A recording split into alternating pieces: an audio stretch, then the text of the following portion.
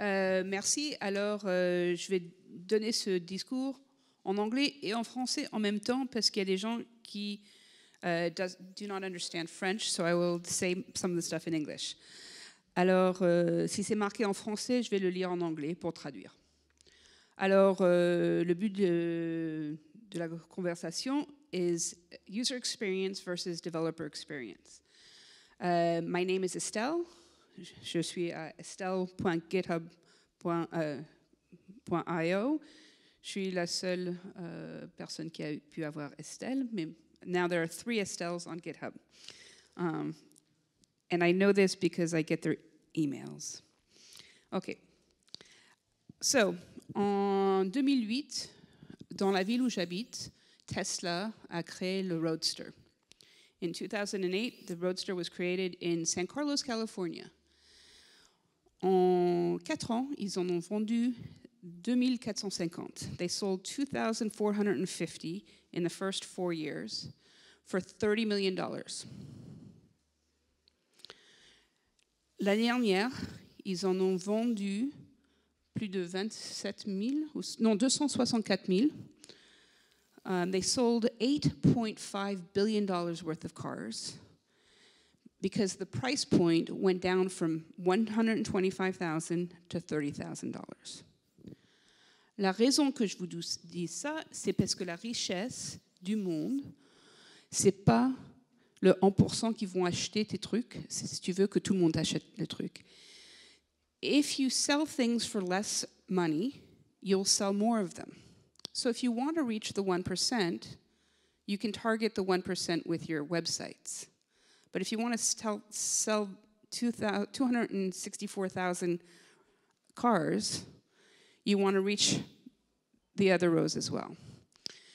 Si tu, tu crées quelque chose qui est tellement cher, seulement les super riches peuvent l'acheter.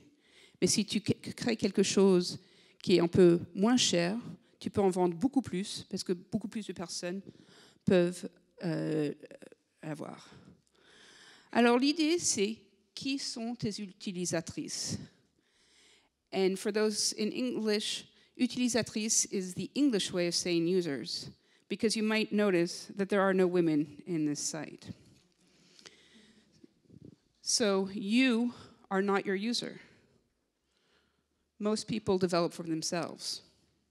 Tu n'es pas la seule personne qui va se servir de ta outil. Il y a plein si tu penses qu'à toi, tu vas manquer plein de personnes. So who are your users? Are they have the latest Mac with a double screen? Or do they have a shitty phone that costs $15? Est-ce qu'ils sont milliardaires qui travaillent pour Google? Ou est-ce qu'ils sont quelqu'un euh, qui habite en, à Budapest qui gagne beaucoup moins d'argent que les, euh, les mecs, parce que c'est presque que des mecs, qui travaillent à Google? Alors, I'm going to speak about user experience versus developer experience. Alors, it's in English, alors je vais le traduire en français. Alors, euh, ce site, CoStores, a vraiment raté le coup. Euh, non seulement ils se sont servis de Icon Font, qui n'a pas pu réussir, mais ils ont une erreur de JavaScript qui a résulté, euh, qui a, le résultat, c'est ça. This is the live site that, they were, that Lady Ada King was complaining about. Tu pas de jupe. You can't buy any skirts here. Une erreur, une erreur de JavaScript a fait ça. One error did this. Alors le web. The web is made up of HTML, CSS, JavaScript, um, other markup languages, and binary files.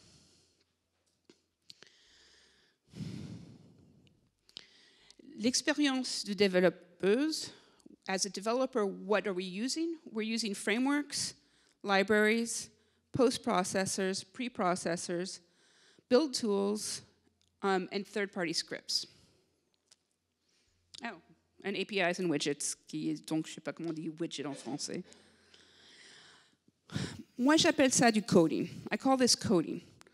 When you're using a framework and a library and you don't know the markup that you're putting together, it's called coding. Et ça crée de la merde comme ça. Um, it makes basically crap. Um, this is a button. C'est un bouton. C'est très simple à faire du HTML marqué bouton. Div soup has no nutritional value.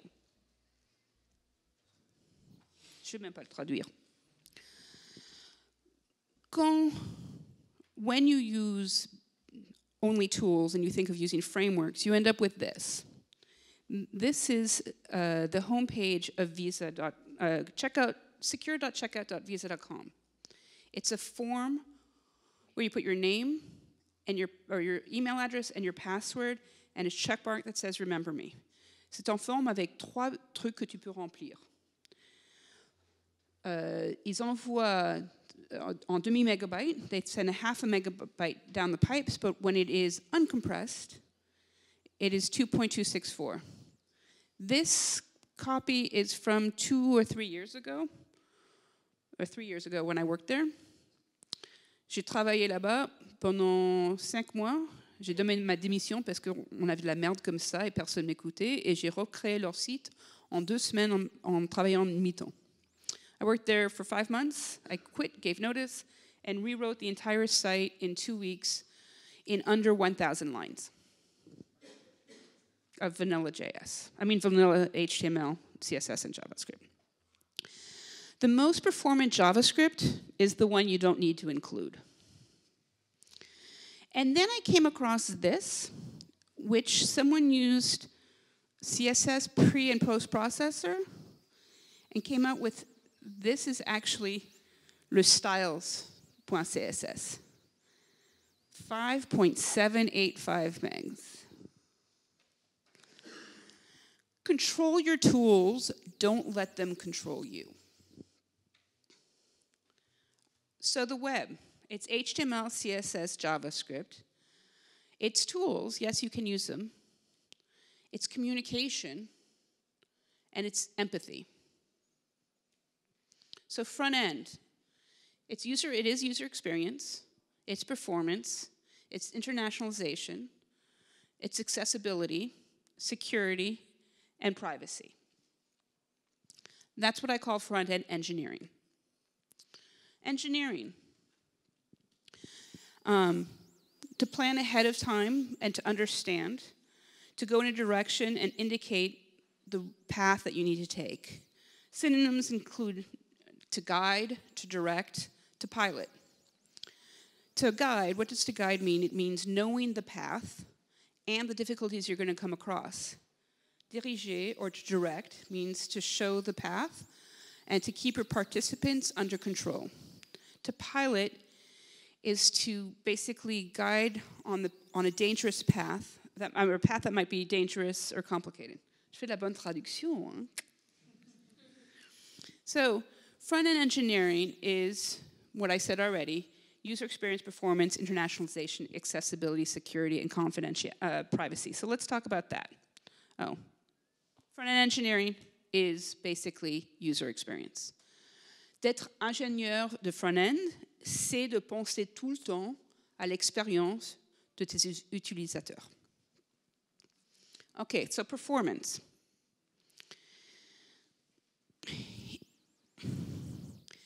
If your site does not work well, there can be serious consequences, even financial ones, and also safety ones, and I'll talk about that.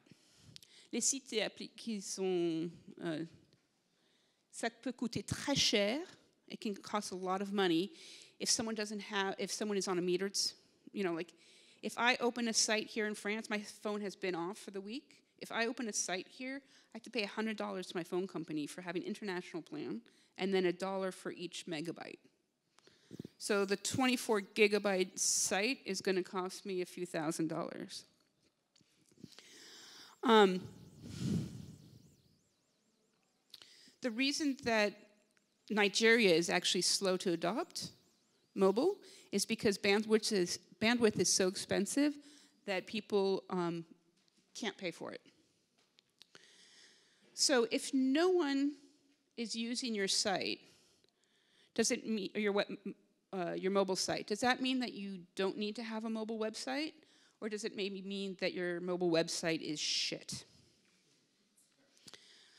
Alors, um, parce que ça c'est en anglais, je vais le dire en français. Um, ça dit il y a trois ans, mais c'était vraiment en 2009. Quelqu'un à Google, dans son 20% de temps, il a fait un truc qui s'appelle Page uh, uh, YouTube Feathers.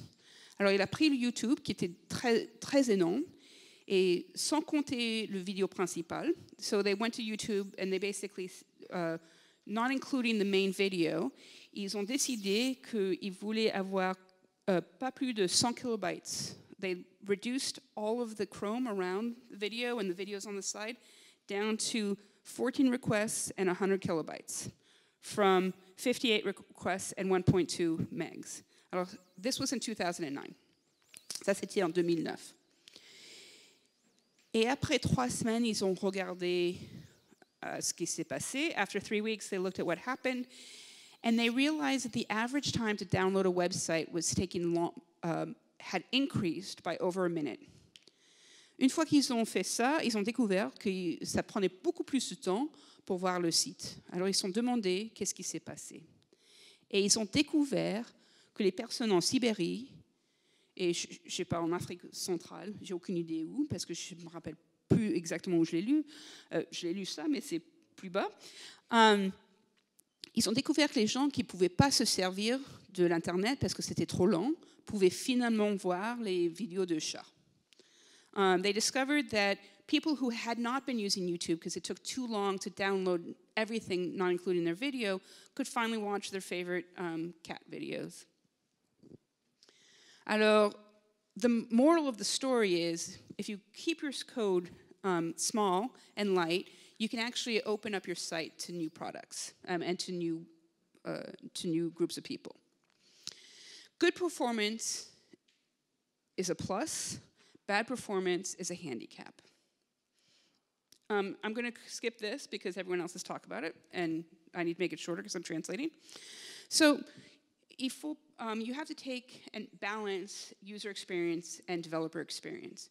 You want to be able to use your tools, but you always need to put, um, in this case, this is bad because developer experience is, has more weight, and you really want it to be in the other direction.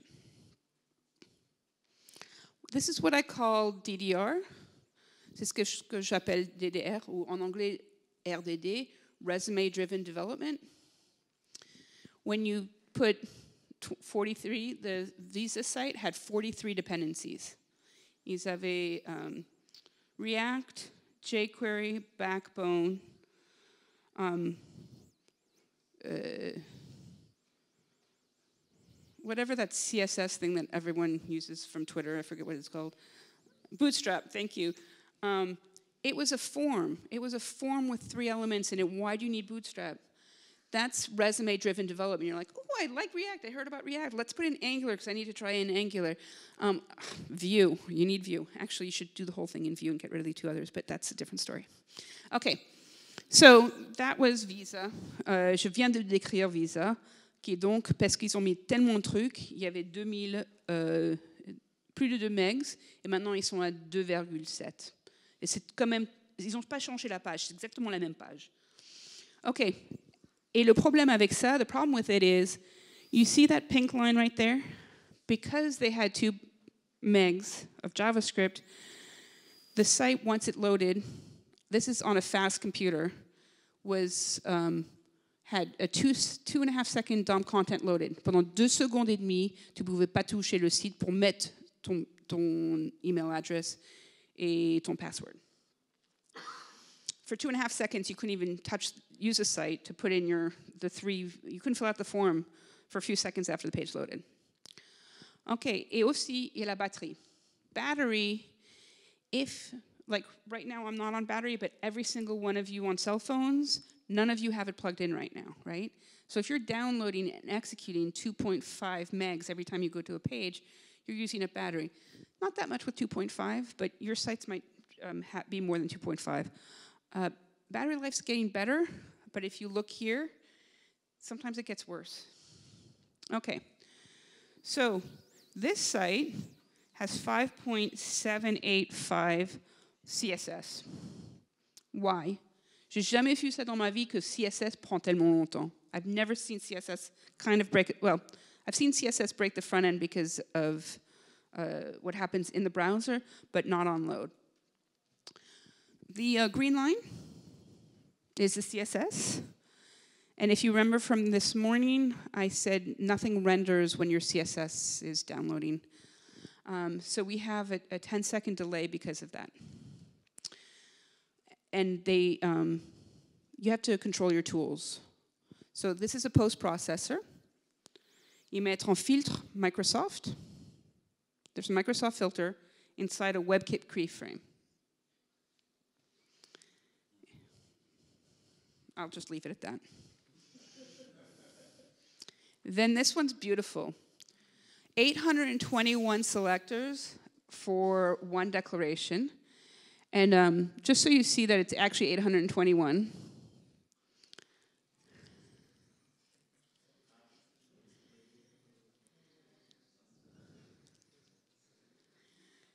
Move it left two pixels. Um, control your tools, don't let them control you. Um, understand your dependencies and why you're adding a tool to your site. Um, I think you understand, I was going to give an example, j'allais donner un exemple, mais parce que je le fais en anglais, en français, je vais sauter ça aussi. Alors, there's a benefit and a cost to everything, and make sure that the benefit outweighs the cost. Il y a des bénéfices et des coûts, euh, ça coûte cher, mais il y a des bénéfices. Et si le bénéfice ton outil vaut vraiment la peine, sers-toi de l'outil.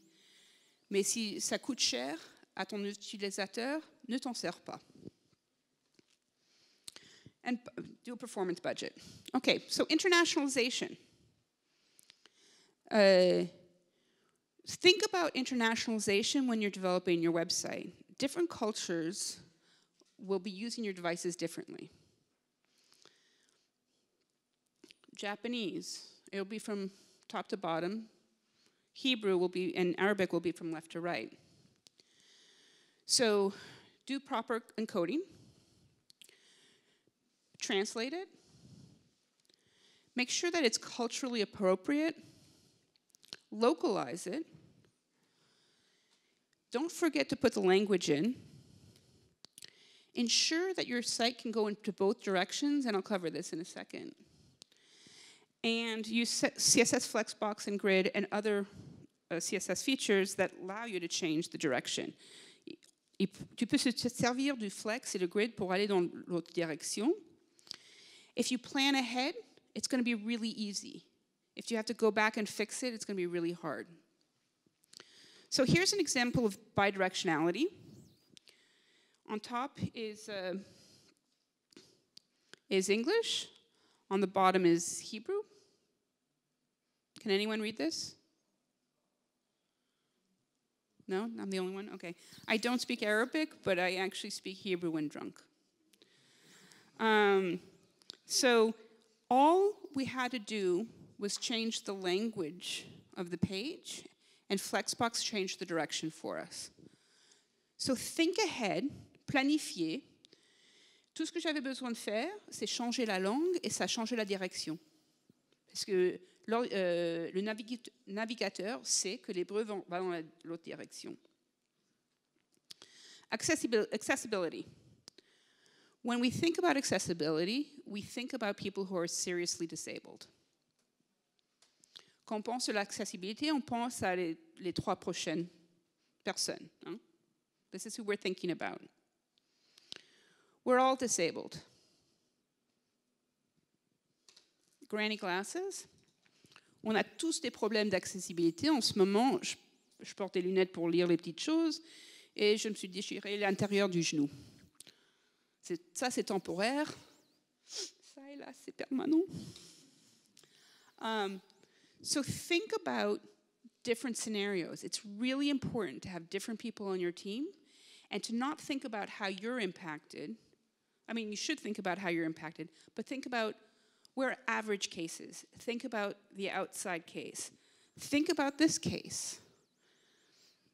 Um,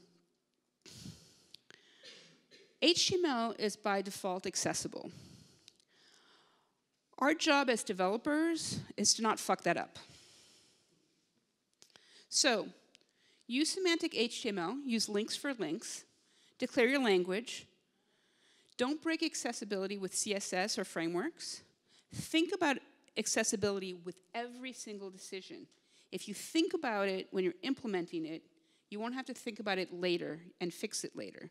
If you think about it now, it takes no extra effort to realize, oh, I need to put the alt attribute in. Or, oh, this label isn't matched with that form, let me do that now. If you go back in and have to fix things, it takes a long time. And then unplug your mouse and turn off your sound. Is your website still usable? And hire a front end engineer to create the to do your um, front end architecture. If you just hire someone who's a back end engineer, they'll use tools because it's fast, but then you have that technical debt. And don't destroy your semantics with CSS. Si tu te sers de table display grid, c'est un grid et c'est plus une table pour, pour uh, le screen reader. If you do a display grid, it's no longer going to be accessible because it's no longer a table according to the accessibility object model. It is now a grid. So you can do things like this, right? It's really easy to do with display grid, but you can also do it with position sticky. So if you understand, like know your languages, if you know CSS, you know position sticky, and you can do this. Um, voila, this is the code to find it. Um, uh, it's actual CodePen example, so you can play with it later. And if you know that the developers following you have no clue how to use position sticky, you can back it up with ARIA. Alors là, um, il y a une table et c'est de la prévention pour l'avenir.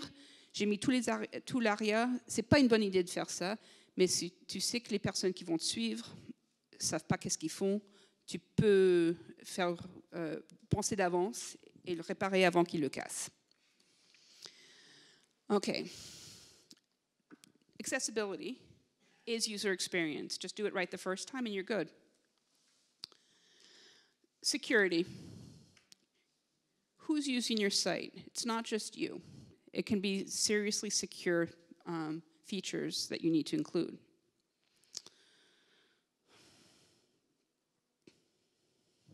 So security features, HTTPS, links with a double slash. So if you're on HTTP, you'll have HTTP. If you're on FTP, you'll have FTP. If you're on HTTPS, it will stay HTTPS. Um, validate client side and server side. Authenticate. Um, you know, understand the same origin uh, policy and CORS.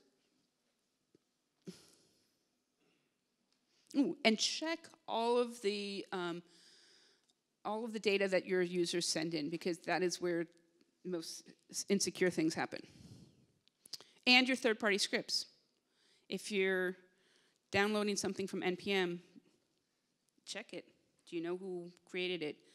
Euh, il y a plein de problèmes. Il y avait des problèmes avec npm. Il y avait un script qui faisait du Bitcoin mining parce que la personne n'avait plus envie de le faire. Il le donnait à quelqu'un d'autre et l'autre personne n'était pas there was someone who used Bit, uh, an NPM module to do, put Bitcoin in. It was a popular module.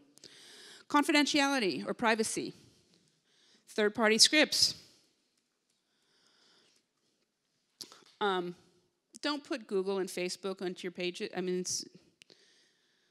ads are tracking, Google is tracking. Urchin, you know, uh, ça s'appelle plus Urchin. Uh, web, uh, Google Analytics, ils savent tout. Facebook, you know Facebook is not doing anything good. So um, think about these things. And think about who you might be impacting. If you're just thinking about yourself, you know, you're like, I really don't want to get ads from. Okay, let me tell you a story. Uh, I signed up for that service where they send you clothes, uh, Stitch Fix. Alors, ils m'ont envoyé des vêtements. Et ils ont donné, euh, parce que j'étais sur une site, maintenant tout le monde sait que je suis un peu grosse. Alors, j'ai des pubs avec des femmes obèses tout le temps. Alors, Stitch Fix m'a envoyé de l'information à quelqu'un d'autre qui n'était pas exactement correct parce que je ne suis pas mince, mais euh, alors j'ai ça tout le temps. Alors ça, ça, me gêne parce que ça me dit que je dois perdre beaucoup de poids. Ça, j'appelle les 20 kilos de Trump. Euh, j'étais beaucoup plus mince en 2016. So, in this picture right here, you have an abused woman and you have an abuser. How can an abuser use your site? And how can an abused woman be abused by your site? Or how can she use it securely and know that he's not going to find out about it? So, your designers should have people in, in their mind when they're designing stuff and have user stories. But as an engineer, you also need to have user stories. So, their user stories are who they want to use the products. Your user stories should be about who you enable to, to access the content as well. So it's not the same user stories because theirs is the people with the money who buy the product. Yours is who can use it safely um, and securely. And user experience is super important. J'aimerais bien que vous regardez à son iPad et comme c'est compliqué. You can see the form on his iPad is super complicated. You need to make user experience super understandable because when this happens, you don't want there to be a mistake on that, right? There, user experience, le design, la compréhension de, ton, de tes utilisateurs est super important. Alors, uh, user experience. An interface is like a joke. If you have to explain it, it's not really that funny. Um, so, how can your site be exploited is something you need to think about. I want to give you an example of why it's important to have different people on your team. Um, this, this third row there, this is material icons from Google. Ça, c'est euh, des icons qui ont été créés par Google. Et si tu remarques, il y a 1, 2, 3, 4, 5, 6, 7, 8 chaises d'avion et deux, deux, deux avions. There's eight airplane seats in different reclining positions. There isn't a single pregnant woman in that framework that they created. There's no baby cart, like a, a tram. Ça, c'était créé par des hommes. Il n'y avait pas de femmes dans l'équipe. Il n'y avait pas de femmes enceintes. Et il n'y a même pas de berceau. La première fois qu'ils ont créé ça. Ils ont créé une app pour la santé. Ils n'ont pas mis de, de trucs pour euh, gérer les règles. They did a health app, and they didn't have a calendar for periods. So if you're creating a health app and you're ignoring the fact that 40% or so of the population menstruates, um, you're missing out on 40% of the population. You're creating something that people don't need to use. Alors pense toujours, always think about accessibility, performance, internationalization, security, privacy, and user experience. Um, la performance pour les ingénieurs, c'est vite à coder si tu le codes correctement la première fois.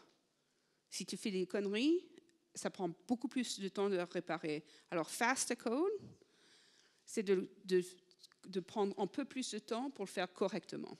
Fast code is to get it right the first time, so you don't have to put the extra time in to correct it. Yes, it might take a, an hour more out of a 40 hour week, but you're saving years of technical debt. So, performance plan ahead of time, always think about it, and ensure that you have diversity and inclusion in your team. Accessibility plan ahead of time, always think about it, and make sure you have diversity and inclusion in who you're thinking about and on your team. Internationalization, plan ahead of time, always think about it, and make sure that you have different types of people on your team. Security, plan ahead of time, always think about it, and make sure that you have different people with different concerns on your team. Confidentiality, always think about it. Um, think ahead of time and make sure that you have different people with different issues around security on your team, on, um, around privacy on your team. And user experience. Good design is usable and intuitive. Always think about it and make sure that you have good, um, that you think about diversity and inclusion because those last three icons would have been put in there the first time if Google had actually thought about and had different people on their team. So in English, there's an expression you can have your cake and eat it too. You can have good user experience and you can have good developer experience as long as you just keep these things in mind. So, hire front end engineer to develop your stack. Because if you don't, you'll have a, debt, a tech debt that's going to cost way more to pull out than it was to put in. So the whole point of this talk was understand your tools, your languages, and the functionalities that you're adding or that you might add to your code. Always think about the six principles that I've been talking about when it comes to user experience while you're programming. In other words, engineer. Take the time necessary to do things correctly, because that's fast to code. Refactoring code is not fast. Control your tools, don't let them control you. Don't be content with just preparing this, your, your code for yourself. You are not your only target audience. And oh my God, that's done. And I forgot to introduce myself again, so I'm Estelle. I organize Perf Matters. I write some books. You can follow me at Estelle VW. Um, you can read outdated blog posts at Standardista. Um, uh, and I also uh, work for De Mozilla Developer Network uh, as a contractor, writing about performance, accessibility, and CSS. Merci Estelle.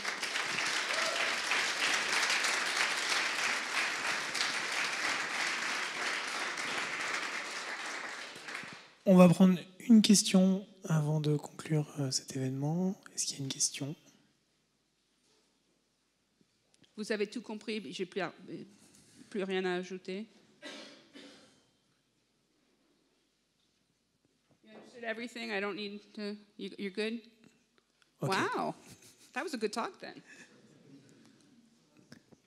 Donc on va, on va vérifier que où ils en sont de l'autre côté et ensuite on vous invite à tous venir de l'autre côté pour la conclusion. Peut-être une question là? Translation, we're going over to the other side afterwards for the conclusion. Uh, uh, thank you for the talk and doing it in English. It was accessible and it was some sort of a point of the talk too. thank you. Thank you.